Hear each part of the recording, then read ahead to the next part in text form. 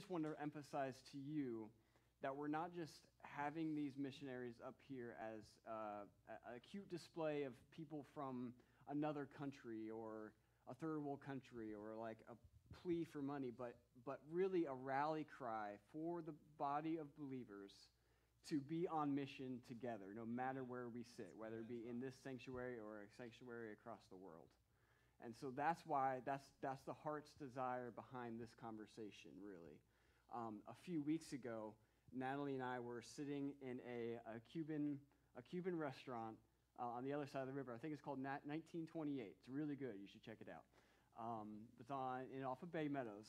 And Natalie and I were sitting there, and we're drinking our Cuban coffees and eating our sandwiches and, and listening to the music and notice this, this desire, this, this passion that we have for this type of culture. And then we started to daydream a little bit. We started to daydream and go, oh, you know, how cool would that be if we could start a, uh, a, a, surf ranch and, a, and a, a, farm in this little tiny town and, and some Spanish town across the, you know, wherever. And, and by the time we're, we're advanced in years, we can we can hand it off to somebody else. How cool would that be? And that desire, we noticed that desire, and the first person we thought of were Lonnie and Debbie. Um, because this is what God's kind of birthed in your heart um, to, to do this as well and eventually hand it off. Right. And um, so, my first question, my, my first thought of is, is what, does, what does Abba's Pride actually do over in South Africa? Um, our vision is that every child will know the hope of Christ. And that's the core of everything you saw in the video. Mm-hmm. It's nice to feed and it's nice to have clothing, it's nice to grow and and to disciple means to point them to Jesus. So our our even bigger vision is that Abba's Pride will impact 5,000 children's lives. Mm-hmm and we're at about 750 now, plus their families. So um, God gives big dreams. Dream it. Mm. You know, don't don't put them in a box. So that's you know that's what we do, um, and we do that in several different ways. We start with the early childhood. Um, my first experience was walking into a church, and it was concrete, and there were about 50 children sitting on the concrete and there was a go-go that was stand, a grandmother that was there, granny type, and it was just sit down and be quiet. And I turned and walked away, and I was fussing at God, and I said, God, this is just not right. And the Lord quickly, poop, and said, Debbie Warren, you leave your first world attitude at the door. You, I got a spanking. He said, You are here to help them take the next step, whatever that step is. So we began with ECD, um, early childhood. We have aftercare now as well. And Lonnie can tell you about the other parts. Well, we also um, do some building projects. Uh, we've been able to sink six wells the eight years we've been there, uh, which uh, in South Africa it's very, very, very dry. And um, so the water not only gave them water for hygiene, drinking, cooking, but also for irrigation for planting the vegetable gardens. We've got uh, three very, very good vegetable gardens growing that not only feed the children in the ECDs, in the church, the community, but they're able to make a little bit of profit to help uh, finance the, the programs they've got. Um, so uh, we're, uh, we're doing a, uh, we've built, uh, been able to build two schools and a library. The, the building you saw uh, going up, that was a library and um, you saw me with a tape measure, and I was teaching the pastors the Pythagorean theorem, believe it or not. You know, this is how we're going to make a square three, four, five. It's amazing. It works every time. Well, the, the building we were attaching to wasn't that straight, so the building we built wasn't that straight. But anyway, it's it's up. The the roof doesn't leak. It's not going to fall down and hurt anybody. Uh, but since then, we, we have started another big project, a foster village. It consists of seven uh, single family homes um, that will house the orphaned and and, and uh, vulnerable children there in that community. through the church. Everything we do is through the, the rural church. We come alongside the pastor to allow him to lead his community, let the church be the church. And so uh, we do pastors training. Um, Debbie does teaching. So, yeah. Um, That's great. That's awesome. yeah. yeah. We, what we were talking about earlier was, um, and even earlier this week was, you work with the local, the local church. You don't just go in there and set up an orphanage and say, we, we have it all together, come, come to us. I love how you guys work with that local church. It was one of the things that our first conversations with them almost two years ago now was, was that, was that the fact that you guys worked with local churches. Um, go ahead. Yeah, no, we, we believe in, that God has appointed an anointed head of that church. Mhm. Um, we're, we're not that. You know, the anointed, appointed person for this church is Pastor Nate. So um, we don't go into the community and say, you need to do this, and you need to do this, and you need to do this. Because it has to bubble up from within them. God has to give them the vision to take care of the orphan and vulnerable children in their communities. And, and wh- as they're doing that, then they are pointing people back to the church. And we don't live in that community. So it's, it's that church that needs to be strong.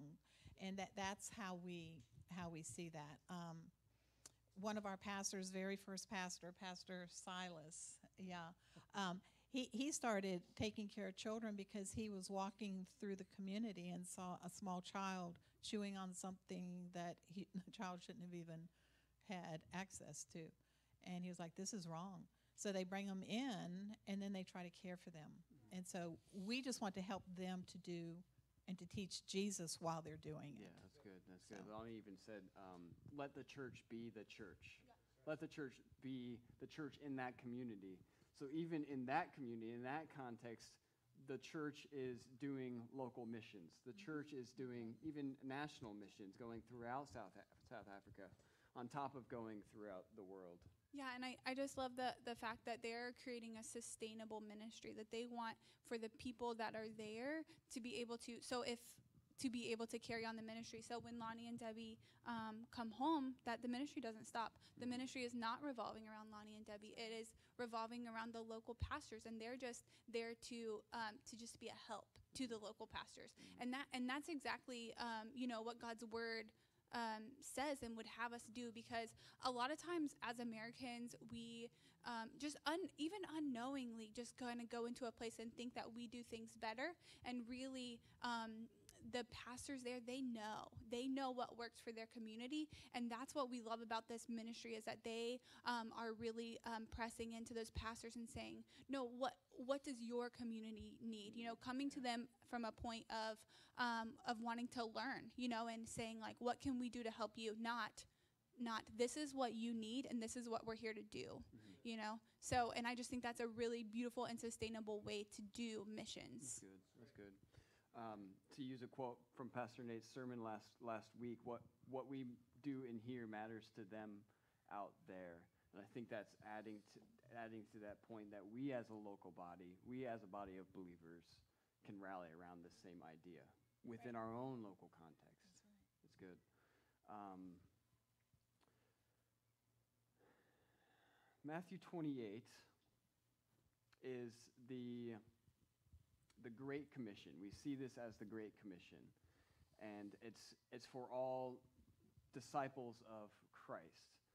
And it says, does say, uh, in, starting in verse 19, it says, "Therefore, and go and make disciples of all nations, baptizing them in the name of the Father, and of the Son, and of the Holy Spirit."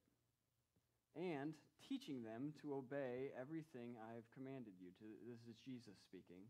Teaching them everything I have commanded you. And surely I am with you always to the very end of the age. And I love how he says, he doesn't just tell us to go and then leaves us hanging. He, he goes with us, to, even to the end of the age like that's mind-boggling to me and it reminds me of another passage of uh, in acts 1 1 8 acts 1 8 says uh, going to uh, jerusalem, jerusalem judea Samaria and to the ends of the earth, im- uh, impacting all of those communities. And we've, we've, that's where we got that national, uh, local, national, and international missions. But as the students and I kind of noticed the other night, as we looked at the woman at the well, Jesus went from Judea and was going to Galilee, but made a stop in Samaria. Made a stop in Samaria and um, met this woman at the well. You might know the story. The interesting part is a bunch of Jewish believers don't go to Samaria because they don't like Samaritans. But he was intentional about going to Samaria for this woman specifically. But what I thought was even more interesting in regards to Acts 1 8 was they went somewhere they didn't like to go.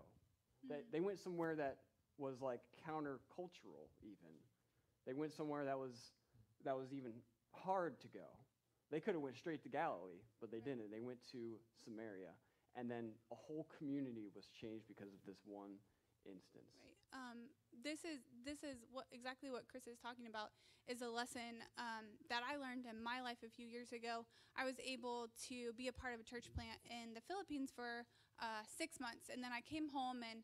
Um, you know, it was just time to uh, be back at home with my family, and um, you know, I was living with my parents, and the I needed a job, so I, I have an education major, so I you know, put in my application for the counties around where I live. Um, my parents live on the west side of Jacksonville, so I didn't want to, I didn't want to put in an application in Duval because I felt like, oh, it's just, you know, the school system is broken in Duval and it's just too tough, you know, to work there and I just, you know, I just don't really want to do that. It's uncomfortable.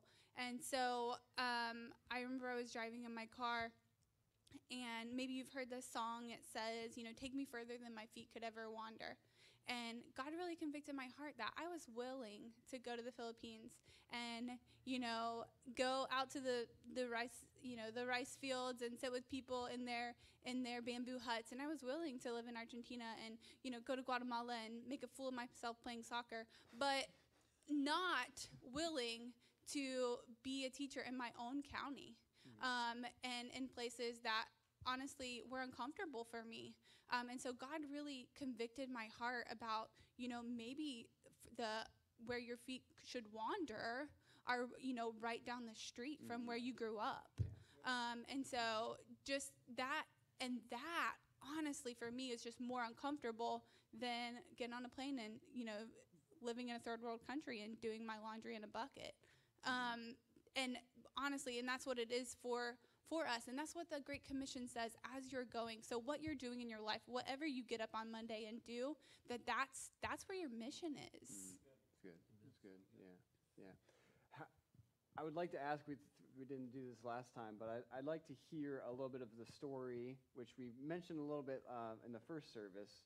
Um, but what was that transition like? How, how did you hear that call or, or know that it was South Africa specifically? And that's kind of a large, large box to throw at you. You have two minutes. You have two minutes. Go. Two minutes. well, our- our story starts as high school sweethearts, and next year we celebrate 40 years of marriage. Amen. Uh, thank you. He's a good man. Yeah. And uh, we grew up in the in the same little country church uh, in, in Virginia Beach, Virginia, our hometown. And uh, we were married there. Uh, our oldest son was baptized there. And then uh, the church, about 21 years ago, uh, voted to do a church plant. And we were part of that planting team that planted our home church now, Coastal Community Church in Virginia Beach. And Deb was on staff there. I was uh, just behind the scenes kind of guy. Had a career with the city of Virginia Beach in their environmental uh, protection office. Um, but anyway, uh, 30 years of that. Um, during that time, we did several short-term mission trips. Um, we, uh, I went to South Africa a couple of times, Mozambique, uh, Jamaica. Uh, Deb did. Um, I did Jamaica. you did Jamaica. I did Corsica. That's you did right. Corsica. Ah, Yeah. How could I forget? Most beautiful place in the whole world, the island of Corsica, if you ever have a chance. But um, so during that time, the Lord uh, in 2006 started pulling us towards South Africa. In 2010, they did the so- Soccer World Cup, and the church we're involved in there, our home church there, Eastside Community Church, they did a out, massive outreach over the six week period, and basically missionaries from all over the world joined them to go into the rural areas and do uh, what you'd call vacation Bible school. They call it trailer ministry. So you actually go into the community and live for a week doing uh, the vacation Bible school, teaching the stories, the songs, the dances, sports, and that kind of stuff. Um, up, leading up to then, we felt like our time was coming.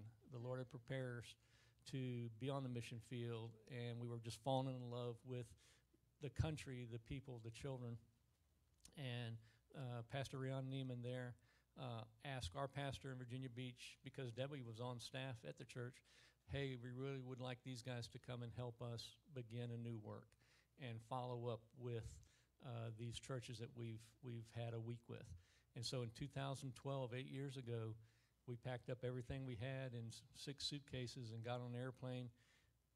Up until a month before we left, we didn't know where we were going to live Mm. or what we were going to drive. Mm.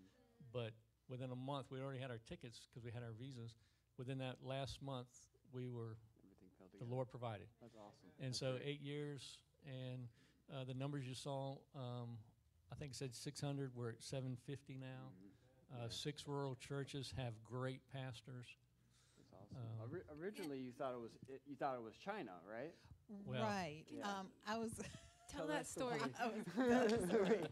um, I, I thought of something else though. Um, Natalie, when you said "as you go," my first experience in cross cultural missions was jail ministry in my own community, and that's where God told me I I could cross cultures, Mm. you know, because that that's a whole different culture Mm. and I, I just fell in love with those ladies. But anyway, so in um, 2001, we had an opportunity to go on a mission trip to South to China. I had a friend from seminary who was um, a, a missionary there. And so, three couples, we decided, hey, this would be really cool. Um, let's go into a closed country and tell people about Jesus. And so, we smuggled DVDs in and did all the things that missionaries do. Um, but, you know, as we went, I saw my husband come alive on the mission field. I, I saw something in him that in 20 years of marriage I had never seen.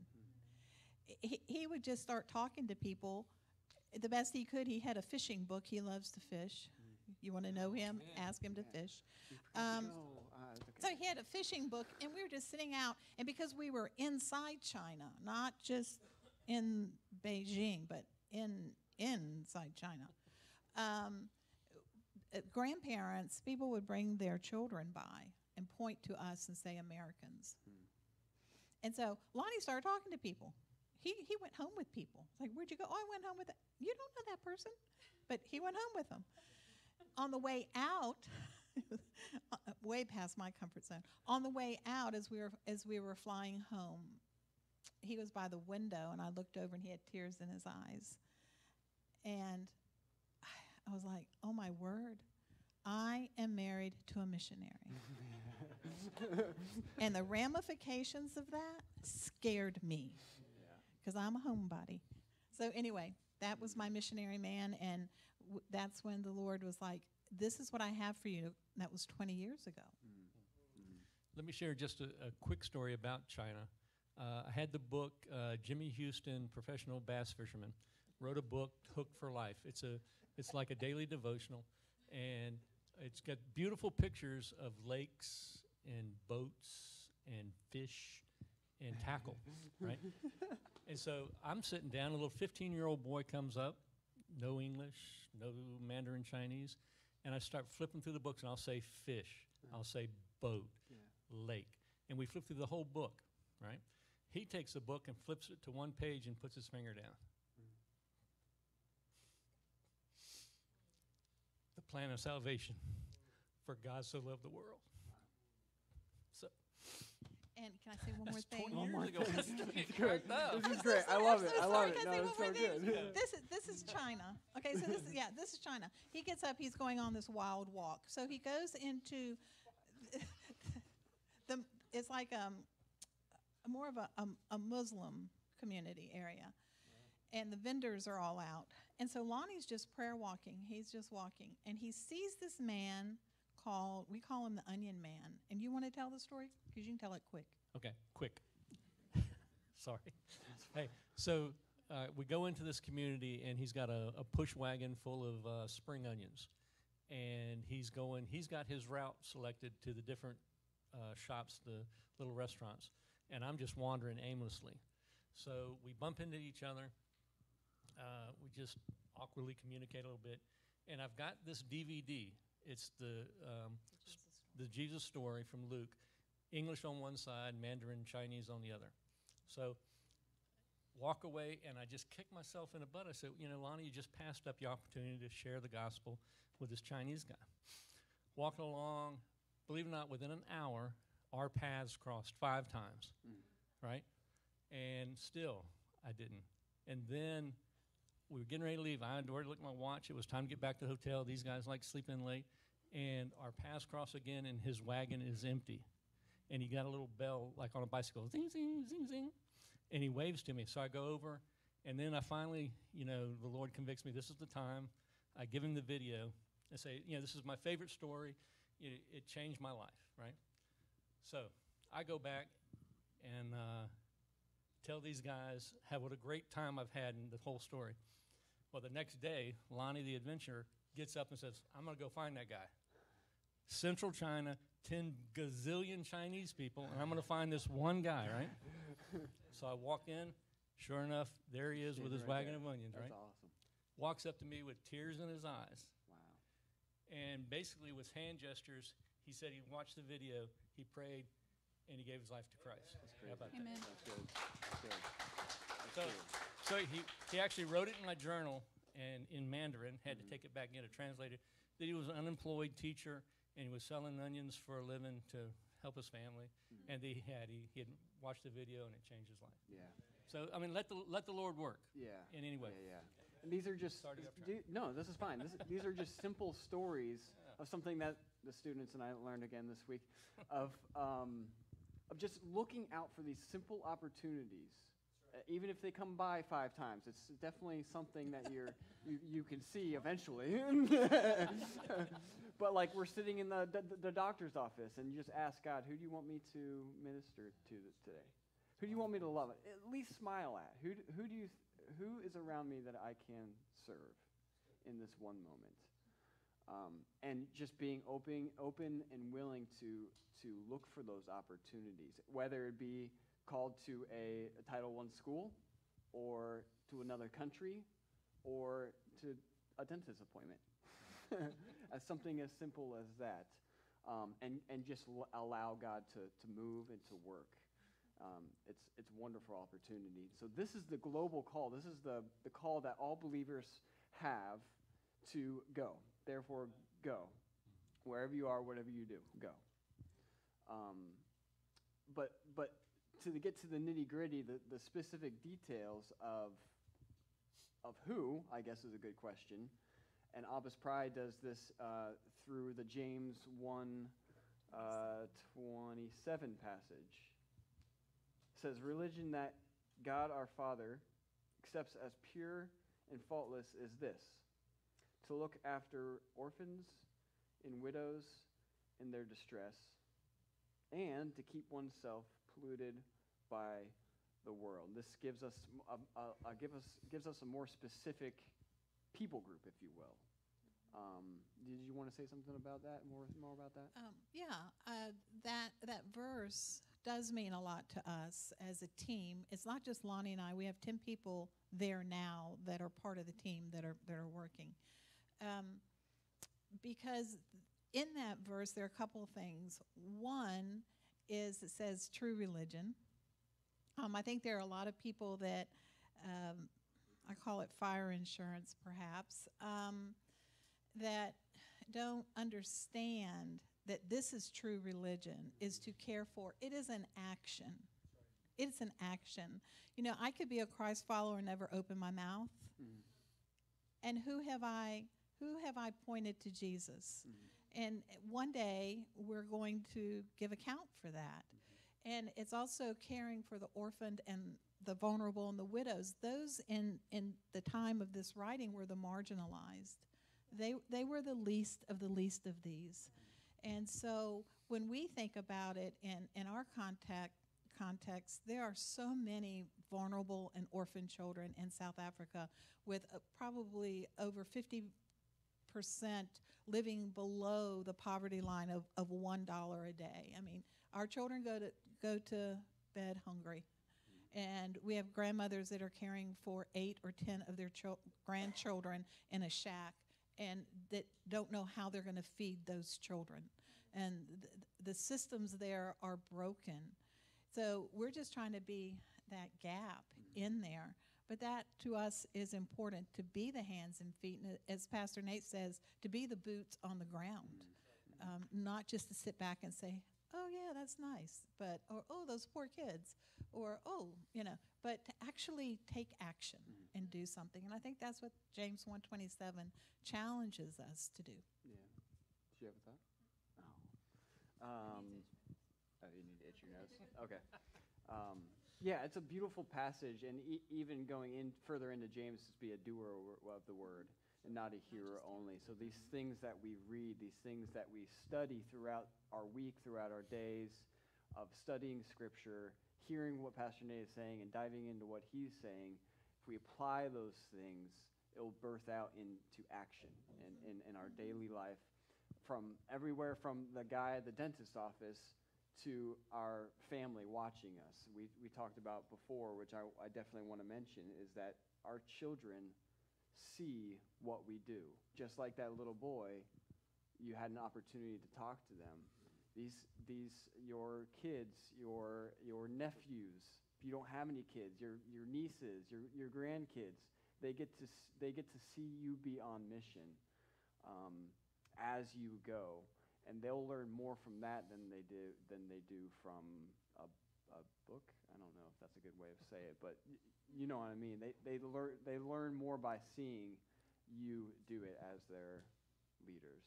Yeah, and, and the way that that looks like in this context is um, Lonnie and Debbie, you know, they left their adult children to go to South Africa, and and what a what a beautiful example that they've been of obedience, you know, because um, you know I my I live near my parents, and I know I still call them and say, you know, Mama, what do I do about this? Um, and um, they left that, and their kids still need them, even though they're adults. And they left that because they were being, you know, obedient to God's call. But that is a greater impact to their children than disobeying God and just, you know, telling them to read the Bible and go to church. Um, so, and I just think that that's so beautiful, like what we can, the things that we can do, the people we can impact by, you know, obeying, obeying the call. And I'm not saying that you need to go to South Africa. Maybe you don't, but maybe you need to witness your neighbor. Um, and your kids are going to see that. Your kids or your grandkids or your your other neighbors maybe. Um, and so I just I just think that's really beautiful how they're you know they're still parenting their children even through being obedient to God's call in their lives. Last week, Pastor Nate um, gave us three instructions or directives to, to follow. The, the pray uh, action steps. He says, he says, pray. Pray for specific things, for specific people. Listen to what the Spirit is doing and be open to, to share. And I think our application is similar to that. Pray, listen. And I would even go to press in to say, like, be open to go. Go down the street, across the street, to the car next to you, to to Ohio, to uh, a lot of stuff going on in uh, the Panhandle right now, as well as across the world, across the pond, if you will. Um, but in Matthew 25, we see three separate parables. And these three separate parables give us a little bit more of directives of, um, of what to do or how to do it. Um, at least the heart intentions behind it. Do you want to talk more about that? Yeah, the, the first one is about the 10 virgins and the bridegroom coming. And what he was talking about was us being the, the virgins waiting on Christ's second coming. Mm-hmm. And it, he goes on to say, some of the maidens were ready, they had planned ahead, and they were expecting the Lord to come at any time, or the bridegroom to come. Mm-hmm. And the others weren't quite so prepared. They were just walking along, you know, taking life as it goes, and they weren't prepared for the unknown moment when the bridegroom did did appear. And so the challenge is, are you are you preparing your hearts and your minds and your souls for that time that we don't know exactly when it is? Mm-hmm. Mm-hmm. I was when we were when you first mentioned those that section to me. First thing I noticed was like an urgency. They were they were eagerly eagerly preparing, um, eagerly waiting in expectation for that. Yeah, and I think that um, a, a really good example of expectant waiting, um, that whenever, you know, there's, to me, there's two different types of waiting. Um, if, you know, when Chris and I were dating, if he would tell me, you know, I'm going to come over and pick you up at six, if when he comes over, if I'm in my pajamas, you know, and I'm in my bedroom watching Netflix, did I really think that he was going to come? You know, that shows that maybe, maybe I thought maybe he would come, but maybe I didn't really trust him. Mm-hmm. But on the other hand, if I, you know, get ready, I, you know, put some clothes on to go out, I, you know, do my hair, my makeup, whatever, I, I'm expecting him to come. I'm waiting um, in expectation that he would be there. And um, because I know him and I trust him, that he will come. So when we know and trust God, we will wait expectantly for what he is going to do. Um, you know, and the, the only way to do that is to be in the Word. The way that we can be expectant is to, you know, be pressing into him and get to know him so that we can trust him more. The uh, the second parable uh, was so you, you got the the ten maidens, ten virgins, uh, and the second I forgot what the second The parable talents. was. The talents. That's what it is.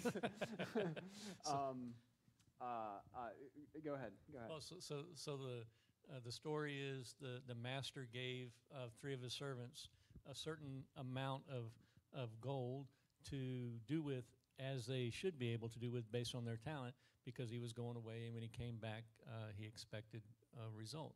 And so everyone in the room here and in the community, you know, the Lord has already given you a gift, a talent, whether it's teaching, whether it's accounting, whether it's building, or even praying. Um, he's given you that talent and expects you to use it. And when the master came back, um, two of the three did exactly that. They they used the talent that the Lord gave them and invested and and made something of it. The third one, he didn't do so good. Mm-hmm. And you know, unfortunately, there are some of us that aren't doing so good with the talents the Lord gave us. So the challenge is, you know, let's use what the Lord has given us, Yeah, each and every one, yeah. whatever it may be, however it may be. Mm-hmm. Yeah, I, I want to follow up on what, whatever it may be. Maybe your gift is smiling, mm-hmm. and you can stand at the door and make someone who's apprehensive to walk into the rock when they see your smile and your warm welcome, their their sense of stress goes. So whether it's a one or five or a ten, God gives as He desires to give. It's not up to us. But what is up to us is how we use what God has given us. So, Yeah, so being a re- uh, being ready or, or having a sense of urgency.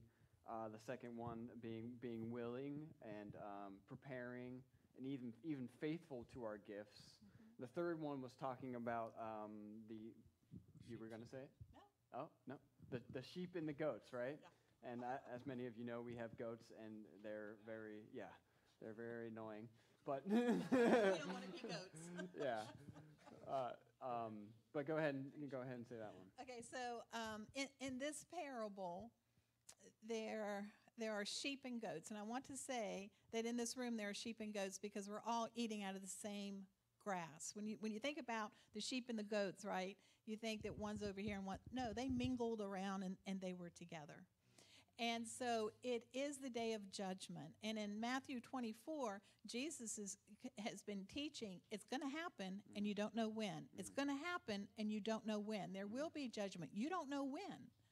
And so then he goes on to being ready and having that urgency. And here eh, they're called into account because when when it's the day of judgment, some of us will be as sheep and some of us will go to the right as sheep and some will go to the left as goats. And and and there's a difference there and it has to do with what the the sheep or the goat did in response to jesus. Hmm.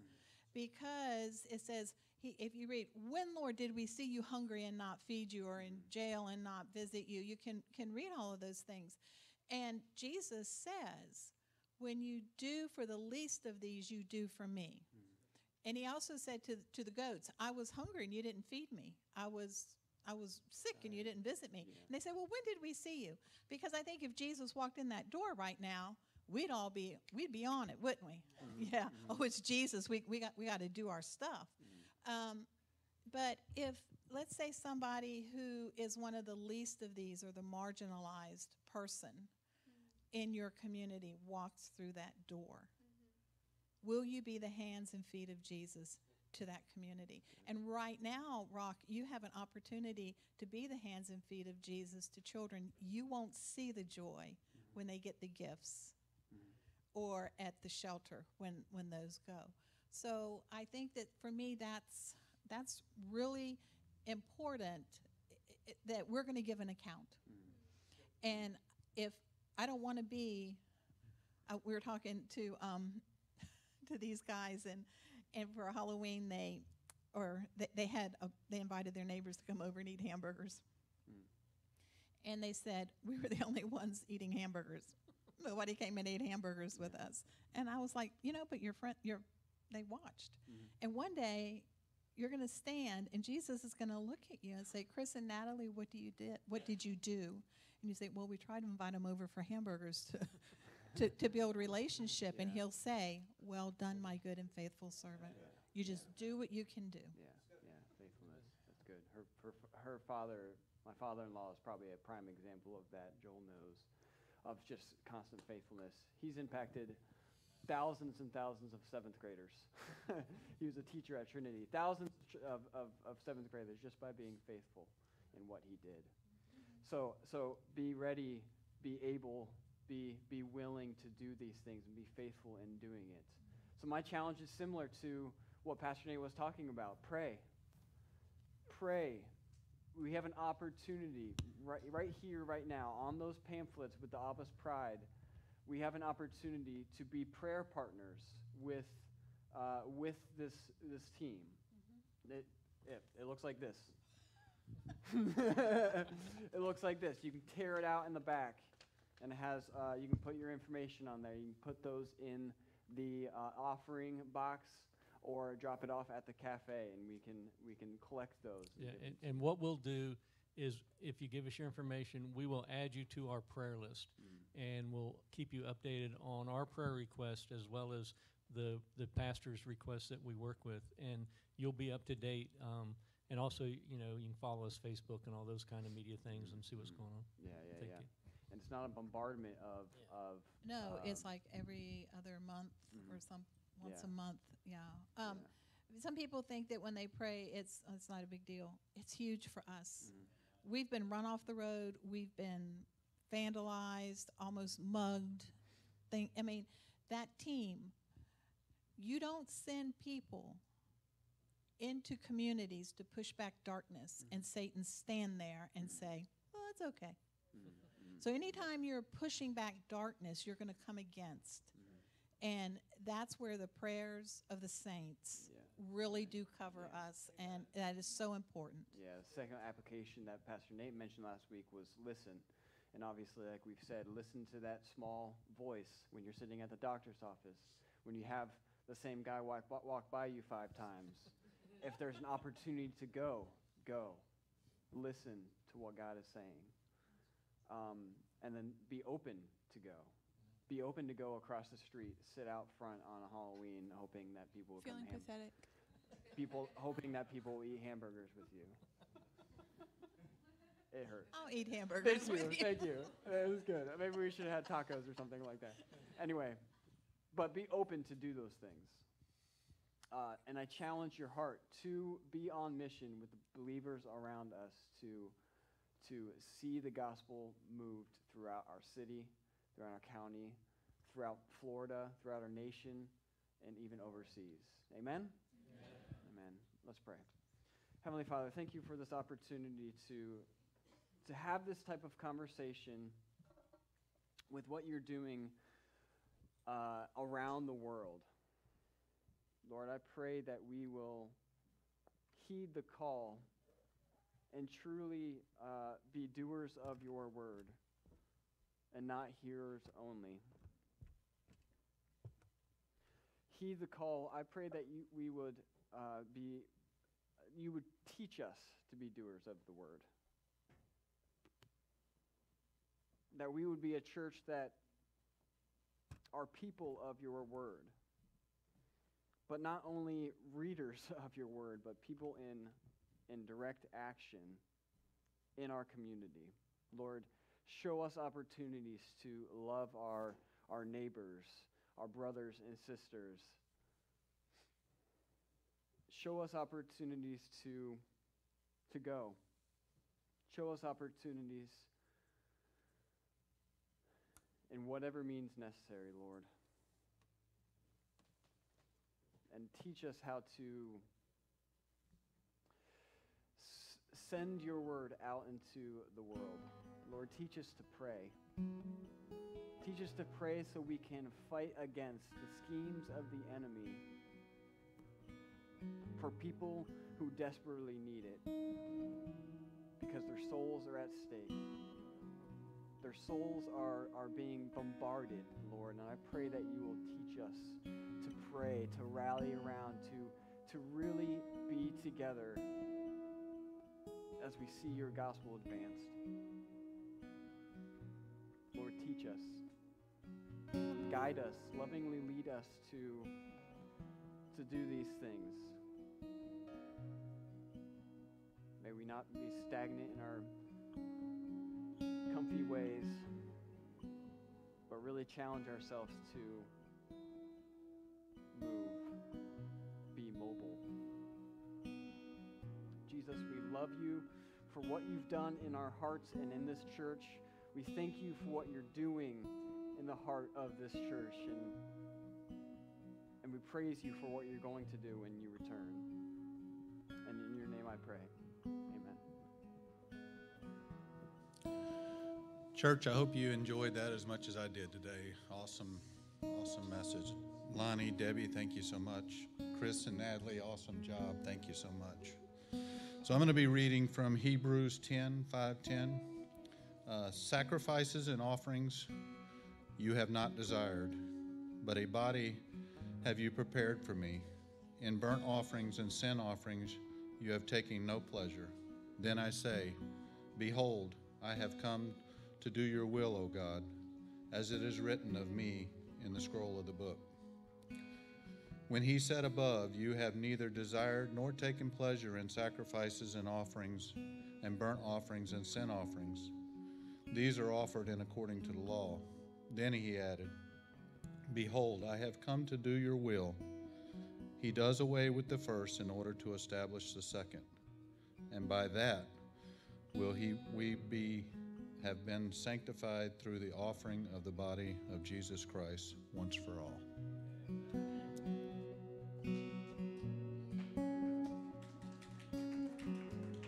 Would you stand as we sing our last song?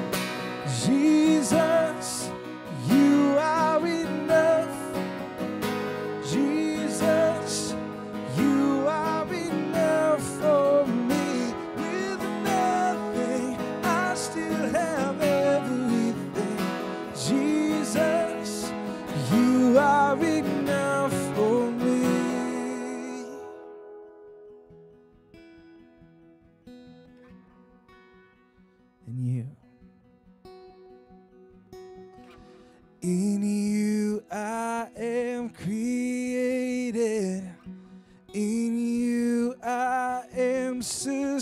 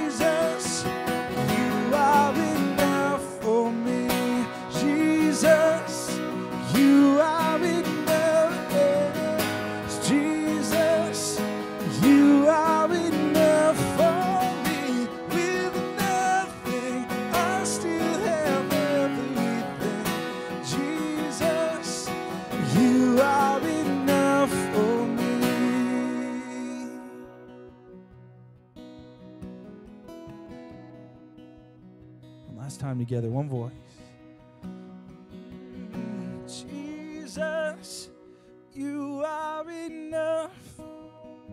Jesus, you are enough for me. With nothing, I still have everything.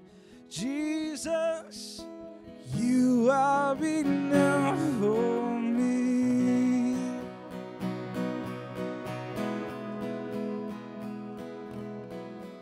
Father, you are enough for us. God, we thank you that we can trust you, your word. God, that your, your word is truly sufficient to follow. God, your promises are true. You don't break promises. The future's sure. The I price pray that our has lives would be been marked by love for one for another. Jesus. God, a faithfulness to go to the places that you've called us to go, and a desire to know you more and have others know you. God, we ask that you would bless Abba's Pride and Debbie and Lonnie and their team. God, that you would protect them. God, that you would give them the strength to keep going. God, that you would make more disciples through them. We love you. God, help us to be missionaries as we go. It's in your name we pray. Amen. You are dismissed.